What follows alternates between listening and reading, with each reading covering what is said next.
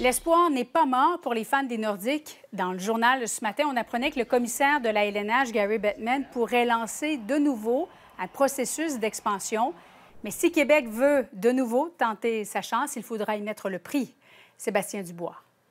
Vous y croyez plus que jamais? Ben, je peux pas dire plus que jamais. Moi, je pense que faut y croire. Disant y croire toujours, le ministre responsable de la capitale nationale réagissait à la nouvelle, voulant que de plus en plus de gens en coulisses s'attendent à un prochain processus d'expansion dans la Ligue nationale de hockey, selon une source près de la Ligue, consultée par le Journal de Québec.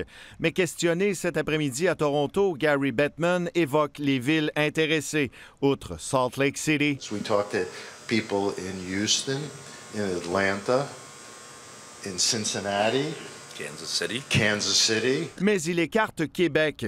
Questionné une dizaine de minutes plus tard pourquoi la vieille capitale n'avait pas été nommée? If we decide to expand and Quebec City expresses the type of interest necessary to make it happen, then we'll review it. Est-ce à dire que la marche bleue de 2010 n'était pas l'intérêt nécessaire, que la construction d'un amphithéâtre digne de la Ligue nationale non plus? Parce qu'il découlait de ça, en fin de compte, une volonté communautaire forte. Là, on avait eu des marches extraordinaires.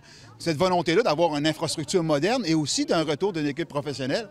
Donc, je pense que euh, on croit encore à cette possibilité-là. On l'a bâti pour ça. Le maire de Québec, lui, est toujours plus prudent sur la question. Laissons la chance aux coureurs. Je vous, ai, je vous ai dit que si ça cognait à ma porte, je répondrais. Entre-temps, on travaille sur plein d'autres projets. La Ville n'attend pas ça. Mais s'il y a des opportunités, qu'il y a des privés qui veulent payer et ramener Nordique, on va voir. Et le coût d'une prochaine franchise pourrait avoisiner le milliard de dollars. J'aimerais ça, mais est-ce que c'est réaliste? C'est une autre chose. Mais oui, je pense que comme fan de hockey, on serait bien content. Là, je pense que c'est rendu un milliard pour une concession. Donc, il faudrait voir s'il y a assez d'entreprises à Québec pour soutenir ça.